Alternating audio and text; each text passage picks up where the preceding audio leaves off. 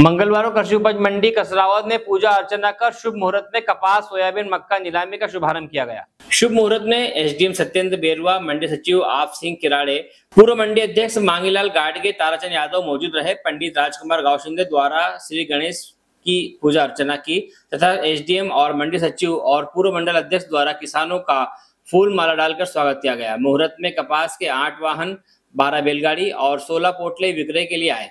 जिसमें किसान सुनील पाटीदार भलगांव वालों का कपास श्री राम इंटरप्राइजेज द्वारा इकसठ सौ रुपए की उच्चतम बोली लगाकर खरीदा गया और कपास का मॉडल भाव पाँच हज़ार एक सौ पचास रुपए रहा। कसरावत से अखिल खान की रिपोर्ट।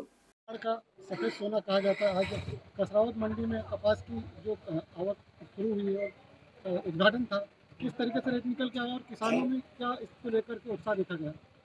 आज एक कृषि उपज समिति कसरावद में लगभग 20 ट्रॉलियों के साथ में किसान कपास लेकर आए हैं और इसका विधिवत शुभारंभ आज व्यापारीगण व जनप्रतिनिधिगण व किसानों के साथ में किया गया है। प्रथम जो नीलामी में किसान ने जो बोली प्राप्त हुई है, उसे तिरपन सौ तीस रुपया प्राप्त हुआ है।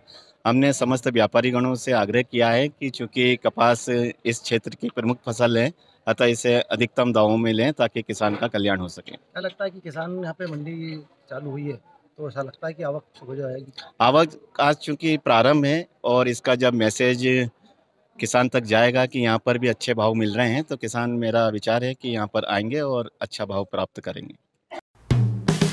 हेलो फ्रेंड्स आप देख रहे हैं हमारा channel S W twenty four news हमारे सारे वीडियो सबसे पहले देखने के लिए आप हमारे चैनल को सब्सक्राइब करें और पास में लगे बेल आइकन को दबाना बिल्कुल भी ना भूलें।